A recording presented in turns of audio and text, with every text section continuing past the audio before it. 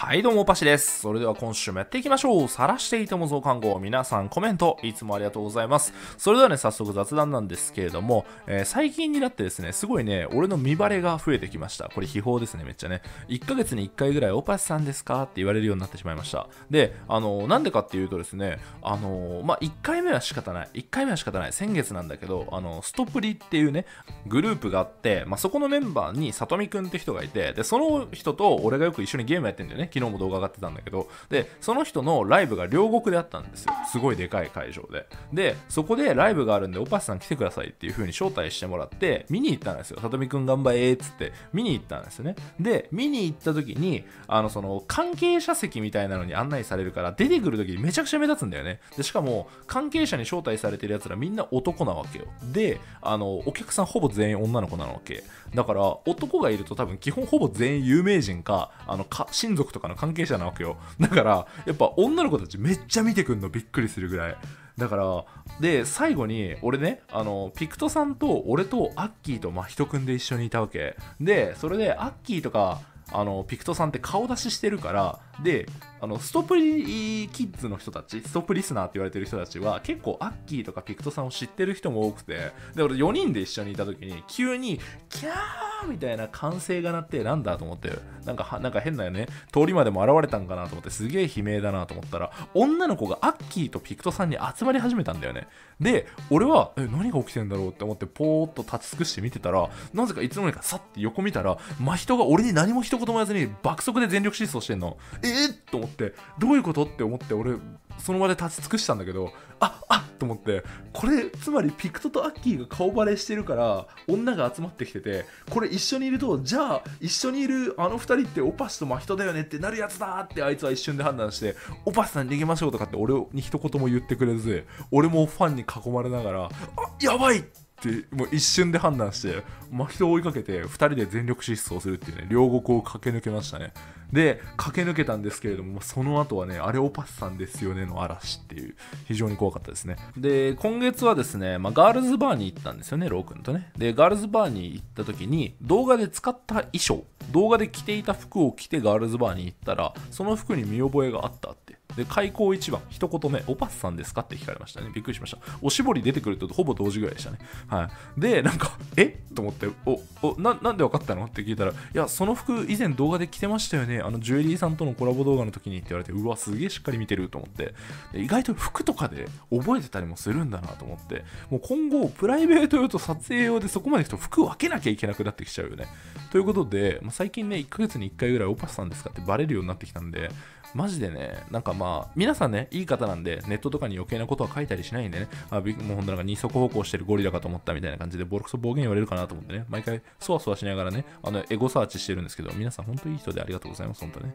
あの、おパスさんですかって聞いてくれたらね、俺握手するんで、その代わりあのネットに余計なことはね、皆さん書かないでいただけると嬉しいです。余計なこと書くとね、うちの事務所からね、あの、裁判所の出頭命令が来るかもしれませんので、そこら辺はお気をつけいただければなと思います。はい。ということで、早速本編やっていきましょう。こちら。えー、おパスさんが今までにちょめちょめした女の子で一番やばい性癖の人はどんな性癖でしたかというね、まあ、これね動画で話したことあるか分かんないんですけれども、まあ、高校生の時の話なんですけど当時お付き合いしていた女の子がめっちゃね変わった性癖を持っていました。でどんな性癖かっていうとめっちゃね訓にされるのが好きだったんですよ。それだけならいいじゃないですか。でペロペロペロ言うて舐めてたんですけれども。で行く時になぜか必ず鼠径部太ももを思いっきりガッて噛んでくれと。行くってなった時に思いっきりガッて噛まれると痛ってめっちゃ体中に痛みがピクって走るじゃないですか。あれが行くのと同時に痛みが広がって体全体でいけるのって言ってて何言ってんだこいつって思いながら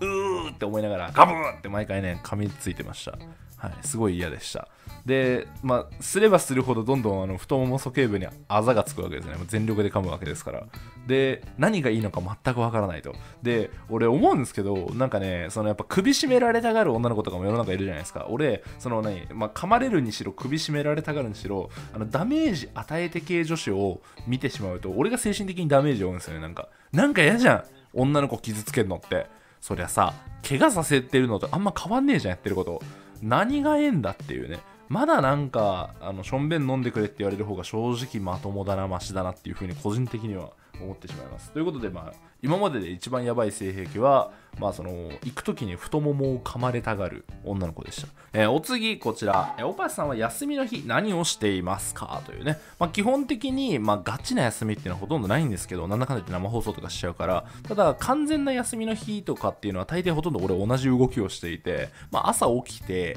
でなんか暇だなやることないなってなんか欲しいもん見つかるといいなって思いながらあのショッピングモール回ったり山田電機とか電気屋さんをね適当に歩いてます。で、大抵ほとんど何も買うもんなくて、ああ、何も欲しいもんなかったなって言いながら、行ったことのない飲食店に入って、ランチを食べて、帰り道にセブンイレブンとかでアイスを買ってアニメ見ながらダラダラします。これもほぼ同じですね。もうずっとこれですね。もう非常に虚しいですけど、こんな生活ばっかしてます。で、たまに欲しいもんあったら、まあ、その場で買っちゃうみたいな感じですね。で、この間は、えー、あのー、まあね、加湿器があったんですよ。すっごいおしゃれな。すごいおしゃれな加湿器を見つけて、ショッピングモールで、えー、なんだろう、このお店みたいな。フランクフランクって書いてあって、ああ、聞いたことないブランドだなって思いながら買って、えー、友達に自慢したらめちゃくちゃバカにされましたね。はい、それフランフランって読むんだよって言われてね。わかんないですね、やっぱね、ブランドもね。ましてあの、男向けのブランドじゃないとなおさら知らねえよって話だから読めないですね。はい。まああのまあ、人前で喋る機会が多い人間なので、まあ、ブランドものの読み方の勉強っていうのをね、ちょっとしなきゃいけないんだなというふうにちょっとね、えー、考えさせられました。前にちなみにオパシはですね、あの、シュプリームが読めなくて、俺スーパーミーって読んでたんですね。これ生放送で死ぬほどバカにされました。オパシさん、それ スーパーミーじゃないです ってめっちゃバカにされました。はい。ブロックします。そんなこと言ってる奴らは。はい。なんでね、まあ、そんな感じの いつも、えー、休日を過ごしています。割とワンパターン人間ですね。はい。お次、こちら。えー、おパスさんはどれぐらい大人のおもちゃを持っていますか？そしてどんなものを持ってるんですか？というね、まあ、どれぐらい持ってるかって言ったら皆さんね、ちょっとまあ想像してください。大人のおもちゃを。はい、それは全部持ってます。まあ、なんで、まあ、普通に、まあ、デンマ、バイブ、ローター、まあ、ローションとか、あと、エネマグラとか、コックリング、目隠し、定常、まあ、もろもろ何でも一応持ってはいるんですけれども、あの、持ってはいたんですけれども、あの、引っ越す時にね、ほぼ全部捨ててしまいました。はい、一回捨てました。で、なんでかっていうと、やっぱ思うんですけど、俺基本的に女の子が変わるたびに毎回買い替えてたんですよね。で、なんか捨て方に困っていて、どんどんなんか押し入れに溜まっていくみたいな感じだったんですよ。だって、みんなも他の男に使ったさ、オナホ使われない嫌じゃないですか。え、これでしごかれるの元彼めっちゃ喜んでたよとか言われたらさ、めちゃくちゃ悩ません？まあ、バッキバキに勃起してるくせにさ、心が悩ません？それ言われると。だから、やっぱ良くないと思うんですよね。他の人に使った玩具を使うっていうのは。で、だからといってさ、別にさ、なんかアルコール消毒したからいいよねって言われても、なんか、うん、うん、それ心の問題なんだよな、みたいな感じになるじゃないですか。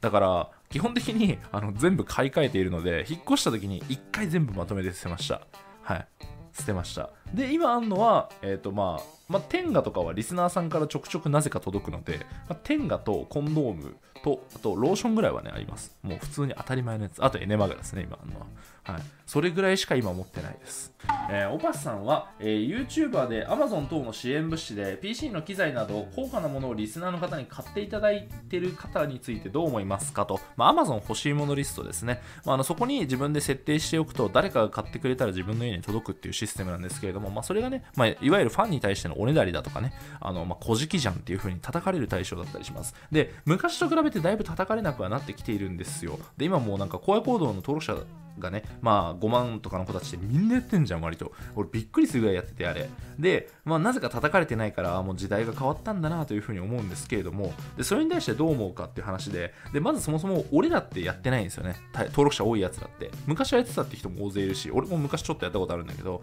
その時はもう3、4年前なんだけど、めちゃくちゃ叩かれたんだよ、俺。小じき野郎みたいな感じで。だからやっぱその一定数その拒否反応を起こす人がいて、登録者をもっと増やそうって思うと、例えば1割の人が拒否反応を起こすんだとしたら、日本全体で1300万人が拒否反応を起こしちゃうわけじゃん。超極論だけど。でその1300万人がもうオパシ嫌いってなっちゃうのってすごいデメリットだからもうそういうなんかね極力、まあ、嫌われるような行為はしないっていうのが今の自分の中で決めてるのと、まあ、まあこういただいてるスパチャもありますし、まあ、再生数もあるので、まあ、自分で欲しいものは自分で買おうというふうに多分登録者が多い人はどんどんみんななってるんじゃないかなと思います。でただ、まあ、そのブランド物とか高額なものをねあの入れるのはちょっと俺は嫌だなっていうふうに個人的には思ってしまいますね。はい。ということで今週は以上です。ご視聴ありがとうございました。バイバイ。チャンネル登録、コメント、高評価いただけると嬉しいです。ご視聴ありがとうございました毎日7時にアップしておりますぜひともまた見てくださいバイバイ